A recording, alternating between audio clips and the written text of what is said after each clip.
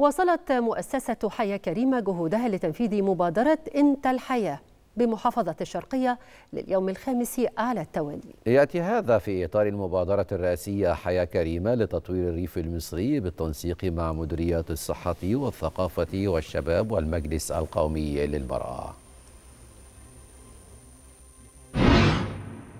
المجلس القومي للمرأة مشارك مع مؤسسة حياة كريمة في مبادرة أنت الحياة بأكتر من نشاط من ضمنها التدريبات الحرفية. مشاركين بست تدريبات حرفية الرسم على القماش الرسم على الخشب خرز النول صناعة الصابون وصناعة منتجات بالموزايك الزجاج المعشق مستهدفين 120 سيدة من أهالي القرية. دربنا خلال ست أيام فاليوم السادس ده بيكون إحنا بنفنش خلاص القطعة بتاعتنا.